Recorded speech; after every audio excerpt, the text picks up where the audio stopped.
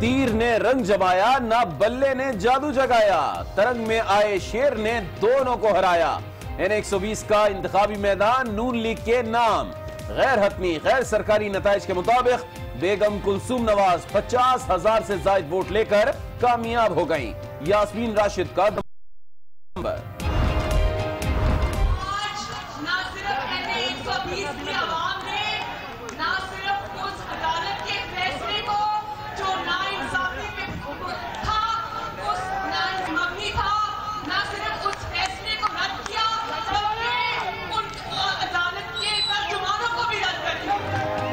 नवाज़ शरीफ के गिर्द घेरा डालने वालों को शिकस्त हो गई।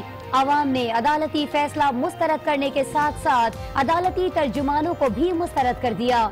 मरियम नवाज़ की घन गरज कहती हैं, हमने उन कुतों से मुकाबला किया जो मुंतब वज़ीर आज़म आरोप वार करती हैं।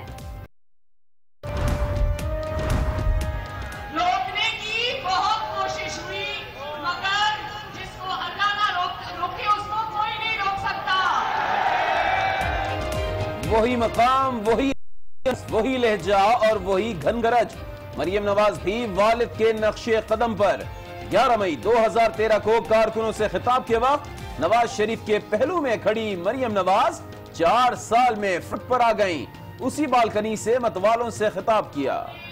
ये फैसला कर दिया है, न सिर्फ़ 120 के लिए, बल्कि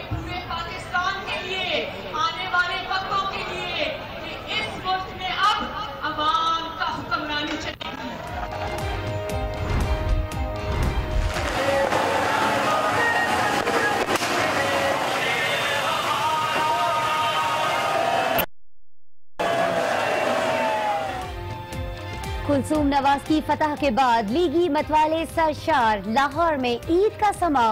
पुरजोश कारकुन सड़कों पर निकल आए। कारकुन असली शेर भी ले आए। शरीफ के हक में नारे, ढोल की थाप पर भंगड़े। मिठाइयाँ तकसीम की गई शानदार आतिशबाजी।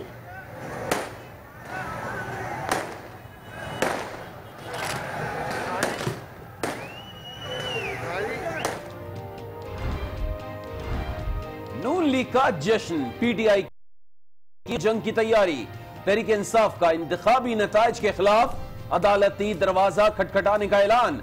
यासमीन राशिद कहती हैं, वज़ीर, मुशीर, पटवारी और हवारियों के इलेक्शन लड़ने के बावजूद नून लीग ने बमुश्किल इंतखाब जीता।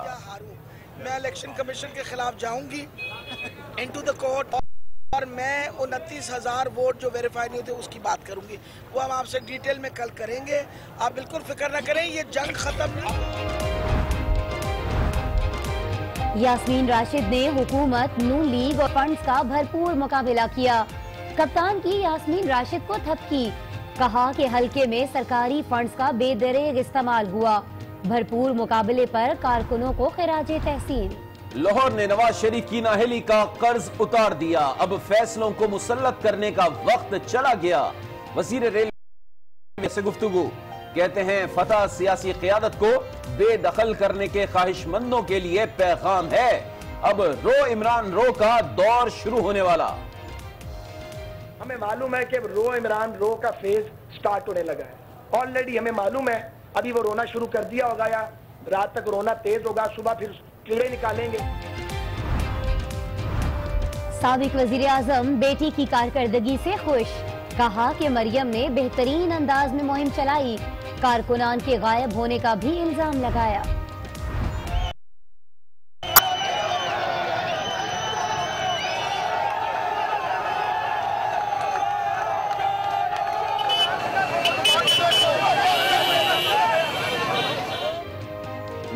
तल्ख कलामी गर्मा गर्मी और हुल्लड़बाजी। लाहौर का इंतखाबी महाज दिन भर रहा गर्म। नून और जुनून मुख्तलिफ़ मकाम पर आमने सामने। कारकुनान के एक दूसरे के खिलाफ नारे, शोर शराबा और हाथापाई।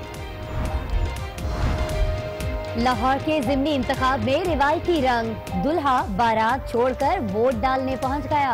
लीगी खवातीन भी सज धज कर कुलसूम नवाज़ की किसी ने नया सूट सिलवाया तो किसी ने मैचिंग ज्वेलरी पहनी। जिमनी इंतखाब में अवाम ने वोट की अहमियत साबित कर दिखाई।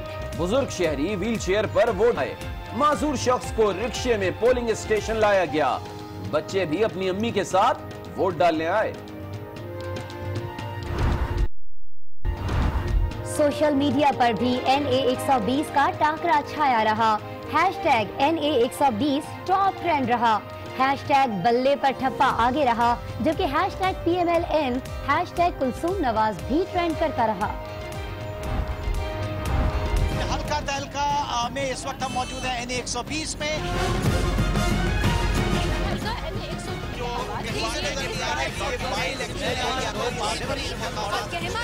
जो है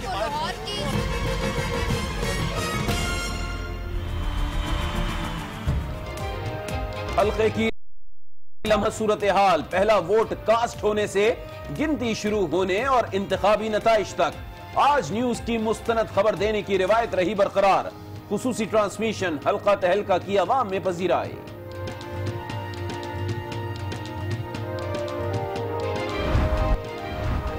नवाज़ शरीफ को सियासत करना नहीं आता। हुकूमत में बैठे तमाम अफराद अकल से पैदल हैं। आसिफ अली जरदारी की पिशावर में सहाफियों से गुफ्तगू। मुफाहमती जादूगर ने कप्तान की कई विकटें उड़ा दी। जियाउल्ला अफरीदी समेत कई नाजमीन और काउंसलर्स पीपल्स पार्टी को प्यारे हो गए। आईजी सिंह की मुहर्रम उल हराम के दौरान आयद पाबंदियों पर अमल दरामद यकीनी बनाने की हिदायत। एडी खाजा कहते हैं कि बगैर इजाज़त किसी को भी जुलूस निकालने की इजाज़त नहीं दी जाएगी। बाजोड़ एजेंसी में दहशत गर्दी तहसील लोई मामूद में रिमोट कंट्रोल बम धमाका।